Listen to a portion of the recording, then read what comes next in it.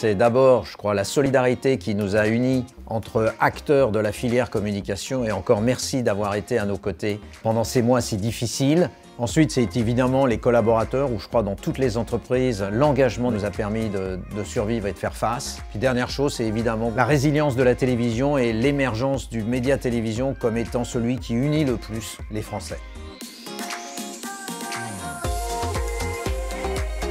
La meilleure nouvelle pour 2021, ça sera Joe Biden et un changement de politique vraisemblablement aux États-Unis. TF1 Pub, c'est innovant, conquérant et puis, on va dire, complice de vous, nos clients.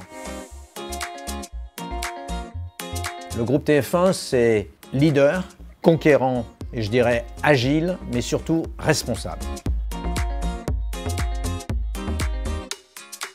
La façon dont on le vit en interne, c'est qu'évidemment, il y a longtemps qu'on fait déjà de la publicité responsable, que face aux défis de notre planète, nous nous devons d'être des acteurs et c'est plutôt nous, en tant que régie leader, qui voulons être catalyseurs de ce nouveau monde en incitant tous les acteurs à évidemment mieux parler de leurs produits, introduire des notions qui rassureront le consommateur et qui feront qu'ensemble, effectivement, notre monde de la communication sera un monde responsable.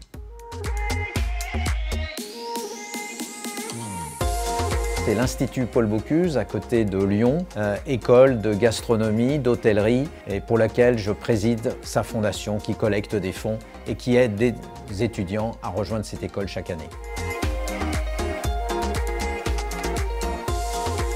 Ma recette préférée de marmiton, c'est la mousse au chocolat noir, évidemment avec un petit peu de sel, et puis surtout ce bruit quand elle est bien faite que l'on peut entendre. Et puis si jamais je dois la déguster avec quelqu'un, ça sera avec Sylvie, mon épouse, depuis 40 ans.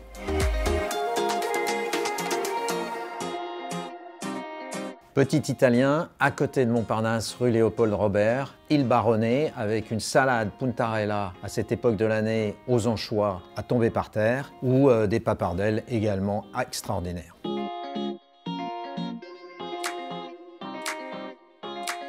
mon épreuve préférée de Colanta, c'est sans doute le parcours du combattant parce que je trouve qu'on peut à la fois euh, voir les qualités pour euh, grimper, sauter, passer sous les barres, enfin c'est très complet.